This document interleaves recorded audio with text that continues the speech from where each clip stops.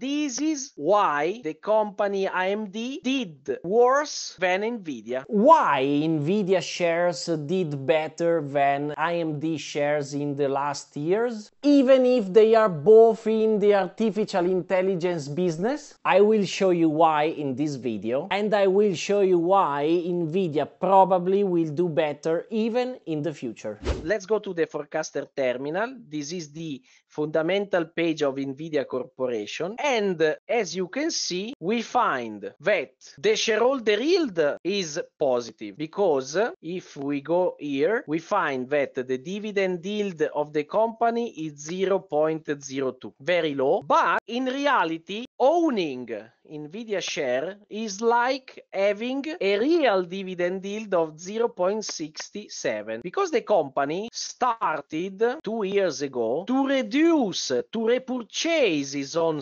stocks because probably they thought the, the shares were undervalued. And this is something really interesting, guys, because if a company repurchases own stocks, do a buyback, at the end of the day, the company management think that the prices of the stocks are good. For example, let's see, Nvidia repurchased some stocks as a positive shareholder yield, but look the weighted financial. The efficiency of the company is improving year by year. And this is why look how the efficiency of the company increased in 2024. It's incredible. And in order to measure the efficiency, effici efficiency of the company, we have to measure sales, net income, free cash flow, and gross profit divided by the number of share because as i told you it's very important to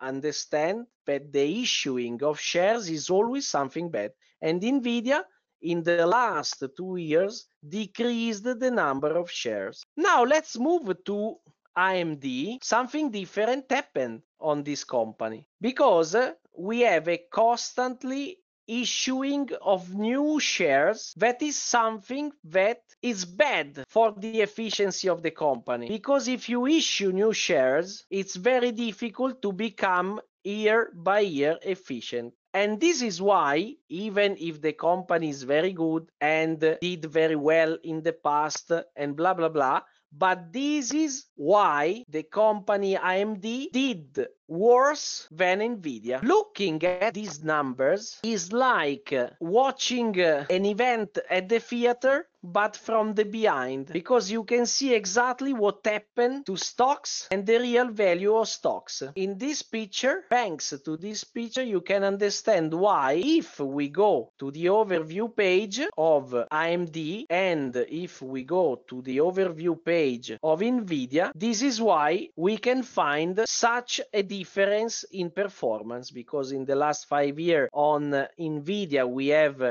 this huge gain 1948% compared to AMD which of course did very good, but they did only, let's say, 600%. This difference, the difference we can find between this company is because of these guys. You can find the reason of this difference here in the efficiency of the company. If you like this video, please try Forecaster Terminal. You can find the link in the description. I also invite you to subscribe to our weekly webinar where we share our best investment and trading ideas every week. You can find the link in the description too.